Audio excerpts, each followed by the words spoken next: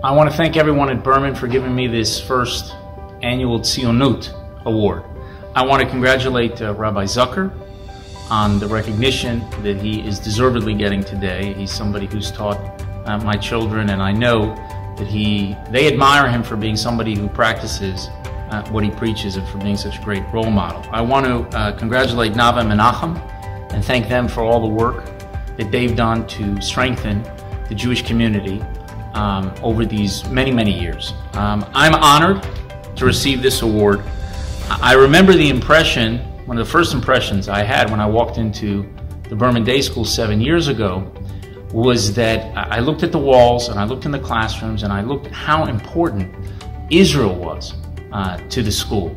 Even more important than the classrooms and the walls when I went to Hebrew Academy in Miami Beach uh, some 35, 40 years ago. And so I saw that this was uh, a school that really saw centrality in Israel uh, and Zionism. And I was thinking in receiving this award, this award that um, many people have questioned the connection between Jews in the diaspora in general and in the United States in particular, question the connection between those Jews and the state of Israel. Many people believe that somehow our communities are pulling apart.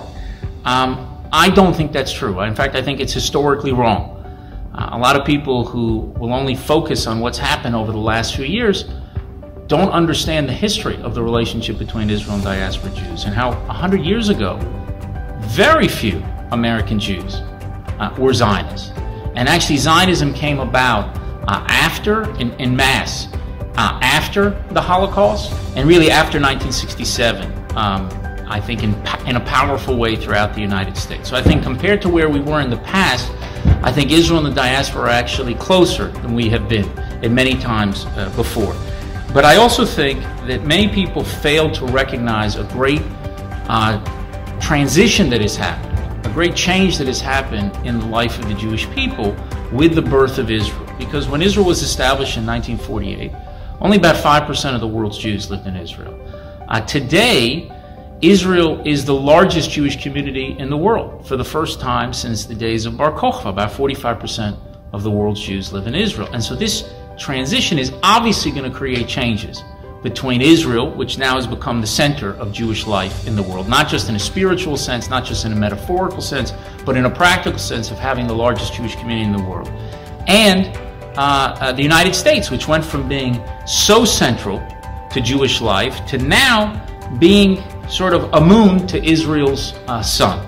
A second area is, I think, it's not sufficiently understood how Israel has grown uh, as a power in recent decades. We are no longer sort of the poor uh, nephew that has to be supported all the time by our American Jewish uh, uh, brothers and sisters. Um, we still receive support and we are grateful for that support, but Israel has emerged as a very powerful country with a high GDP per capita, a global technological power, leading in many areas like cyber and artificial intelligence. We are a very strong prosperous and vibrant society. And I think that has changed the nature of the relationship. Um, and I think also many people do not remember, um, many American Jews have forgotten naturally what it's like to live in a world without an Israel because Israel's celebrating its 72, 72nd uh, birthday.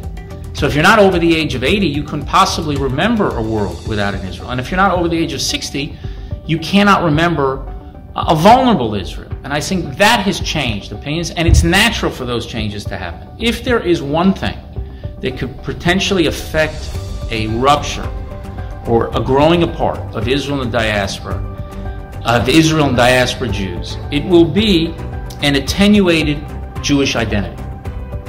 Most of the reasons why you could potentially have friction is not because this or that policy of this or that government in Israel and differences of opinion that we may have about politics.